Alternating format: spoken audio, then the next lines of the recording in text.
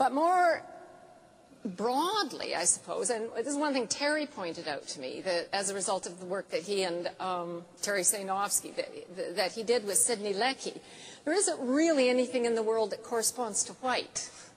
And yet we have a representation of white. It's something that the brain constructs. Brains also habitually, constantly represent goals, plans, projects. And the thing that is represented does not yet exist. So when these really quite wonderful accounts from the information theory people are offered to us as an account of how neurons process inf or code information, it has to be remembered that those counts, accounts, one and all, depend on the idea that the neuron is responding to an external stimulus. And it often, and perhaps importantly, almost never is so. Uh, oh, sorry, I want to go back, if I may, please, uh, and back one more. One more back. Back. There we go. Um, the issue of spontaneous activity is not unrelated, and I'm, I'm, I'm going to go very fast through the rest of these. But um, one of the things that has now been a question that people are working on is, so what is all that activity in the resting state? So when you put someone in a functional MR and give them a task, of course, what you're doing to get those wonderful pictures is subtracting from the baseline. So, or you're subtracting the baseline from the experimental uh, condition. So what is all of that spontaneous activity? And Mark Raichle's group has discovered that there really are two kind of systems that we wouldn't really have known about, save for this kind of work. And that is that there is one system that is more active during the task, where the other system tends to be less active during the task, and then the reverse in the resting state.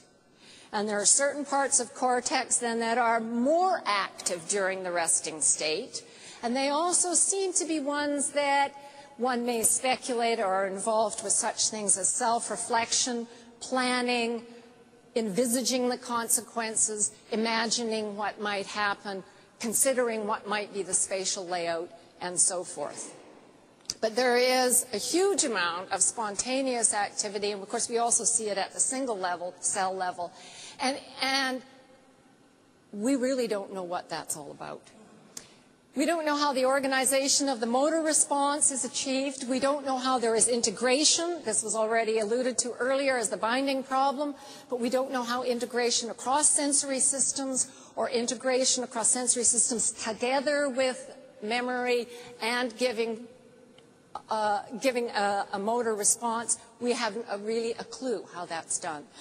And within memory, well, there's been beautiful work done on individual cells, uh, the LTP work and beyond.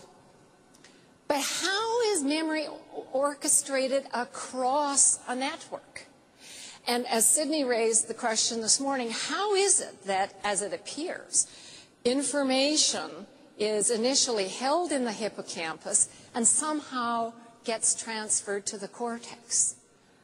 I mean, that's, that's not, you know, just a sort of one single cell to one single cell. It has to be uh, a large-scale maneuver. We have no idea how that's done. Okay, and then we'll go to the next one.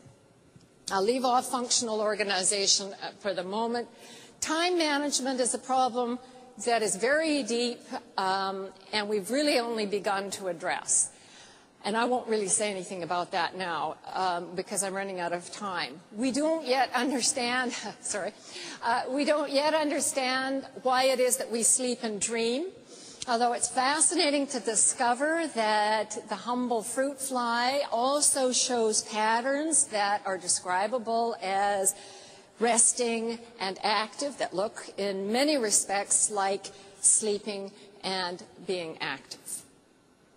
And finally, we really uh, don't yet understand many of the fundamentals of how information is stored and retrieved. an intense amount of work, of course, has been done on declarative memory and the role of the hippocampus. But skill learning is clearly a very, very critical part, as I suggested earlier, of how cognition works. And that remains very, very poorly understood. My own sort of hunch about these things is that there, there are some really fundamental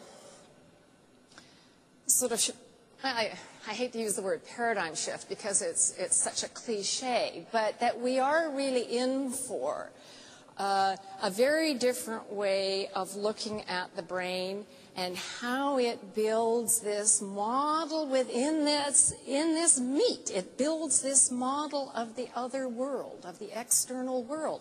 It cannot have direct contact with the external world. It's all mediated and somehow it builds a model of the external world and builds a model of itself as acting in that external world. And I think we there's something very deep about that. And I, not, I don't think it's philosophical. I think it's neurobiological. And I don't think we've quite got a grip on it yet. Thanks very much.